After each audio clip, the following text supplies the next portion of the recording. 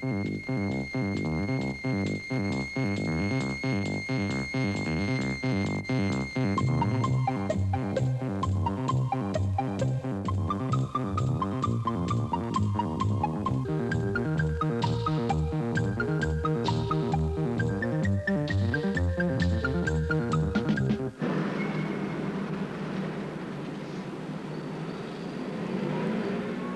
Safety barriers around this junction are coated with a thin layer of zinc. If we look closely at the surface of the zinc, we see it's built up of many different patches. You can find this effect on a number of zinc-coated objects. The patches you see are crystals or grains of zinc.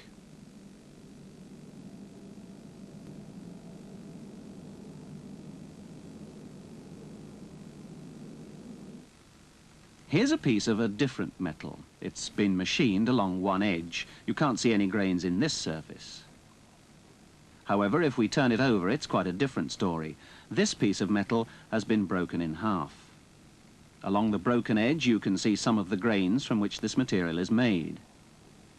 All metals are made up of grains, although you'll rarely see them like this. In fact, with most metals, including this piece of aluminium, the grains aren't visible, not even on the surface. Here's a way of making them visible.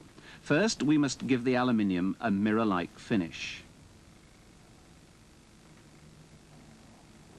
And there we are. And next, we treat the carefully prepared surface with a very powerful acid. Gloves are essential for this operation.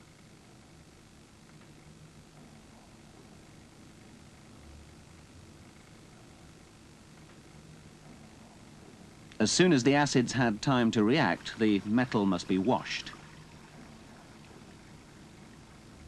It's then given a second treatment with another special chemical. We call this process etching. The particular chemicals used depend on the metal we're trying to etch.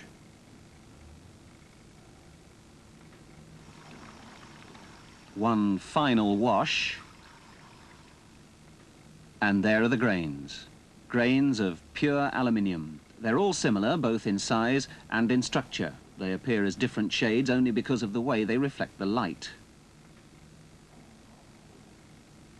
By etching, we can reveal the grain structure of any metal. Here's a different sample of aluminium. In this case, the grains are much larger and they vary in size. And here's a piece of copper. In this sample, the grains seem to get smaller as you get nearer the middle. Zinc, a sample whose grains are all shapes and sizes. But how do grains form? To find out, we've gone back to the stage when a metal is molten. In this furnace, the metal is aluminium.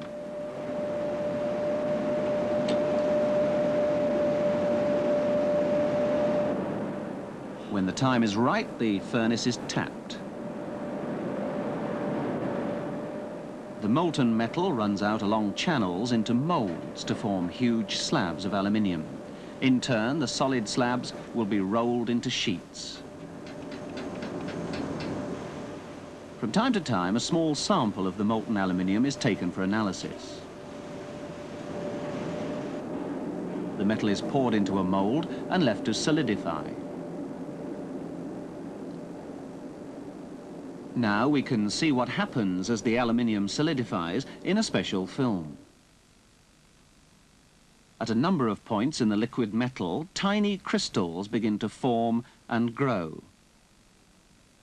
Each crystal grows outwards in all directions until it meets the surfaces of its neighbouring crystals.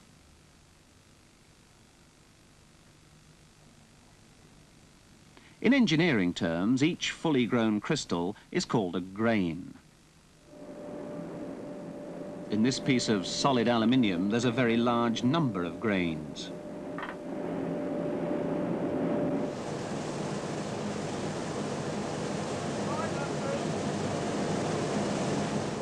Now, once the aluminium's been cast into slabs, it's rolled into sheets. To get the metal down to this thickness, it's been rolled many times. It's now relatively cold, so as the metal is squashed between the rollers, it's being cold worked.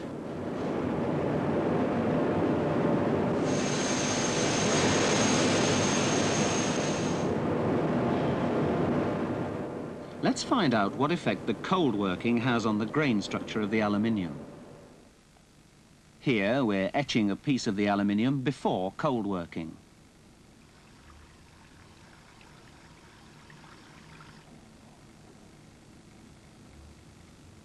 At this stage, the grains are all approximately the same size and the same shape. Remember, they appear different shades only because of the way they reflect the light. Now we'll cold roll a similar piece of the same aluminium.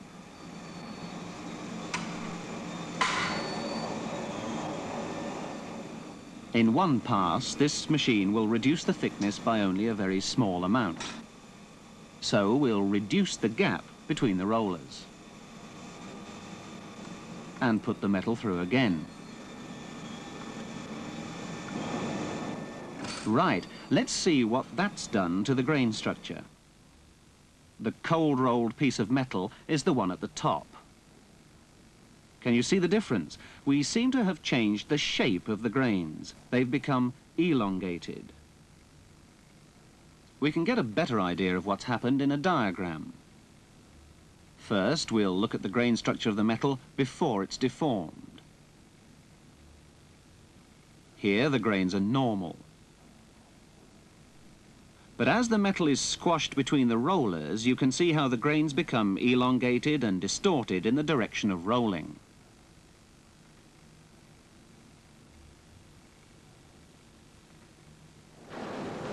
The change in grain structure that results from cold working is accompanied by a change in the mechanical properties of the metal.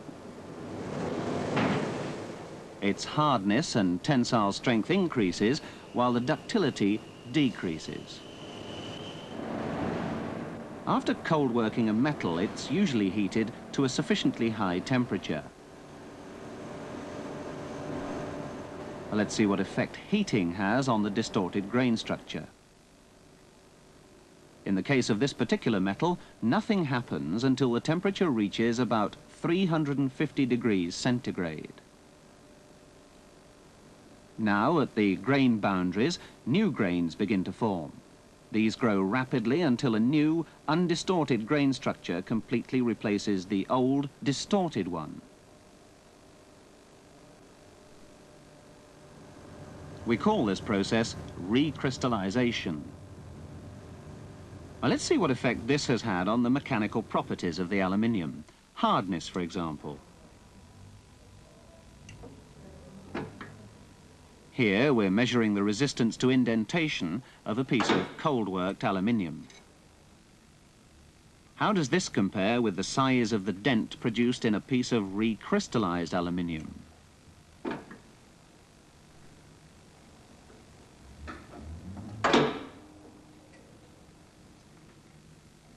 It's much deeper, so recrystallization has restored softness. And what about the tensile strength? First, the cold-worked aluminium.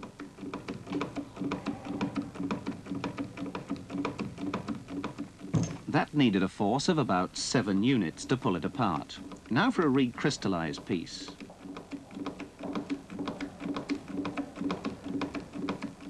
Force is going to be much less this time. The tensile strength has decreased. If we put the broken bits back together again, we find the recrystallized piece stretched the most, so we've also restored the ductility. However, the resulting properties depend on the temperature at which recrystallization is carried out. If the temperature becomes too high, some of the grains will grow at the expense of their neighbours.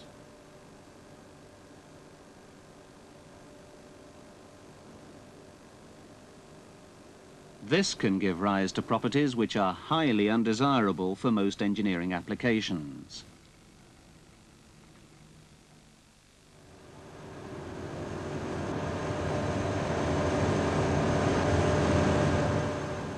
This is molten steel.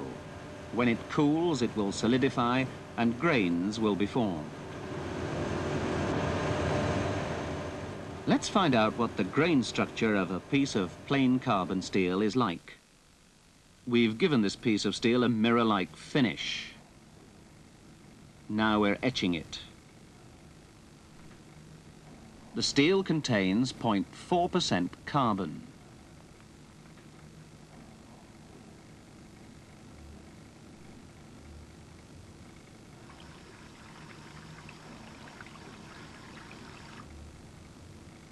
So far, so good, but with the unaided eye, we can't see any grains. We'll have to take a small sample of the steel and view its surface through a microscope.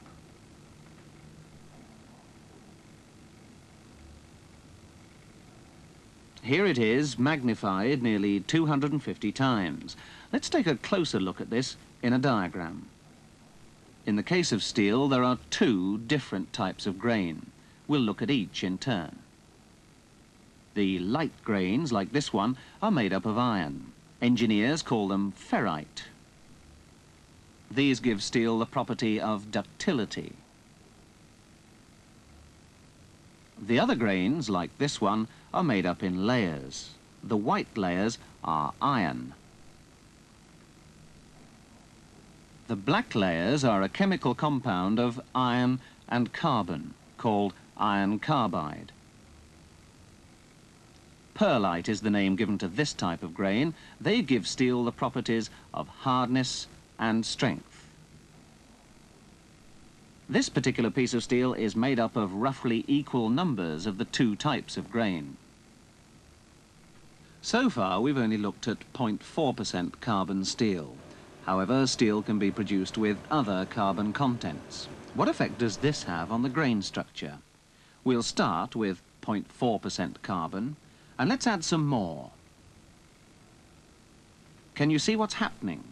The number of pearlite grains is increasing. Now there are no ferrite grains at all. The steel now contains 0.8% carbon. Under the microscope, a similar piece of steel looks like this. You can probably guess what will happen if we now reduce the amount of carbon in the steel. The number of pearlite grains decreases, leaving a lot of ferrite grains. Now there's only about 0.1% carbon left. This is what a similar piece of carbon steel looks like under the microscope.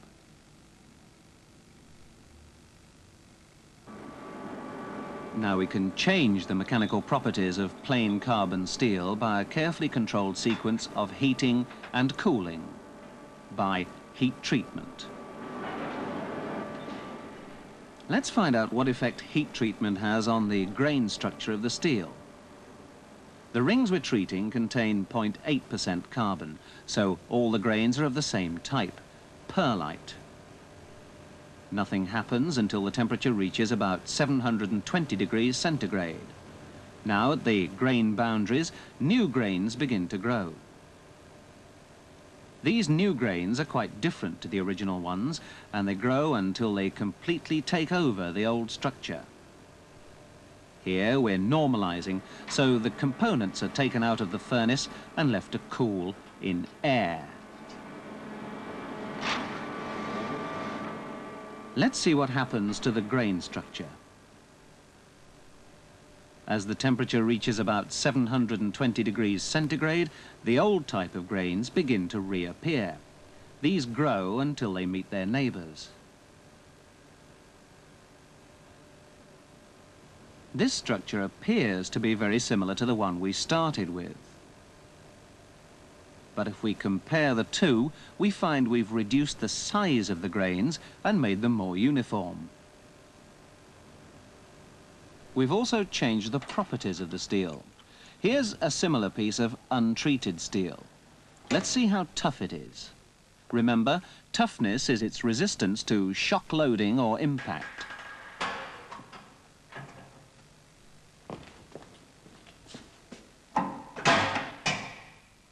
About 60 units.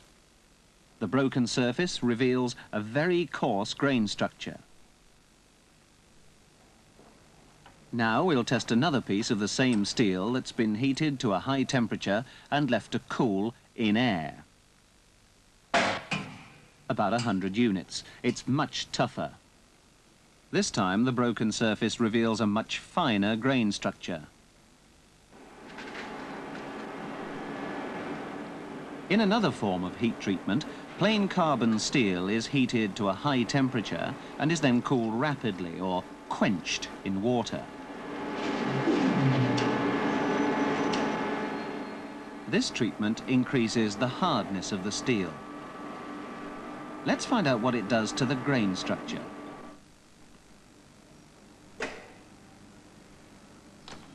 We're going to heat up a piece of 0.8% carbon steel to 750 degrees centigrade. Remember, with this particular amount of carbon, we have only one type of grain. Nothing happens until the temperature reaches about 720 degrees. Now, exactly the same thing happens here as it did in normalizing. New grains of a completely different structure grow out at the old grain boundaries.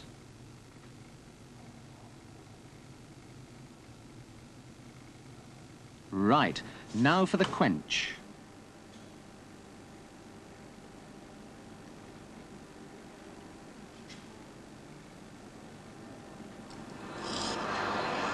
As the temperature falls, in each new grain, a needle-like structure forms.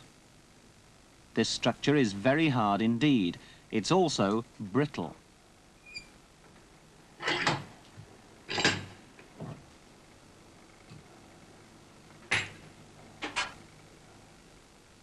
We can relieve the brittleness by tempering. In this case, we're going to temper at about 500 degrees centigrade.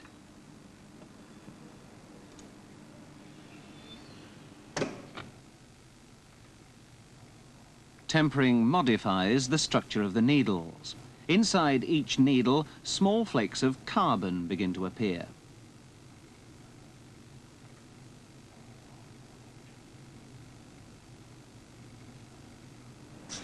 Now the steel is much less brittle but it's still harder than it was before heating and quenching.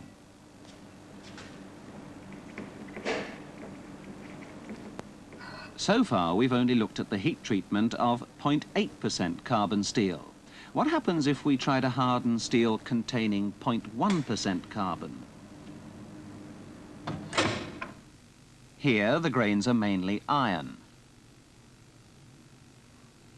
Again, nothing happens until the temperature reaches about 720 degrees centigrade.